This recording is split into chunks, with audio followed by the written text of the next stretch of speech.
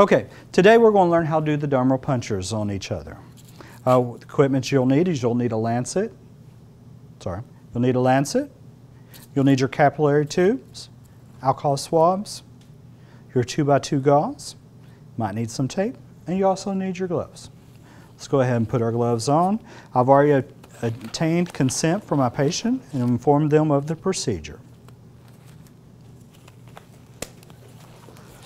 As you see, I have two lancets out. You want to make sure that you always have backup equipment in case the lancet does not work. Go ahead and withdraw one of your capillary tubes.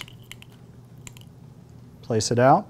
Be careful. You might want to uh, sit it on something that you know where it is because it's glass or it's plastic and it'll blend in with the environment. So try to make a mental note of where it is. Gather one of your alcohol pads. And you'll want to puncture the patient's finger they're one of their two middle non-dominant fingers. So we'll go with this middle finger and we'll point down using gravity as our friend. We're going to cleanse the fingertip. There's our alcohol swab there. And while the alcohol is drying, be aware that we do not want to stick center or medial in our patient's finger. We want to go lateral on either side. We never stick medial there's, because there's a chance that we could puncture or break some of the bones in the finger. Also the same thing if we're doing a heel stick on a baby. We'll go lateral, not medial.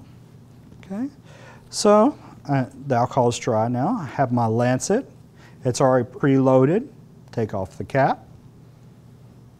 Squeeze the patient's finger and put up to the finger and push in. You'll hear it click means the lancet's punctured the finger. Squeeze. Wipe away the first drop of blood. With your capillary tube, red line facing down, go ahead and collect your sample. You'll try not to touch the capillary tube to the patient's skin and just dab on the bubble of blood. And you'll do this until your tube's full. Allow yourself plenty of time. At this time, it might be best to talk to your patient.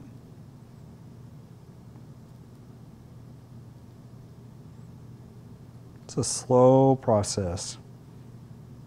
More likely, we'll be performing these punctures uh, for the finger stick. We'll do on children that is past the age of toddlers up until adolescent years. And if it was an infant, we would use the heel. Sometimes we'll do this on geriatric folks. They may be a little bit anemic or their veins cannot handle the vacutainer system.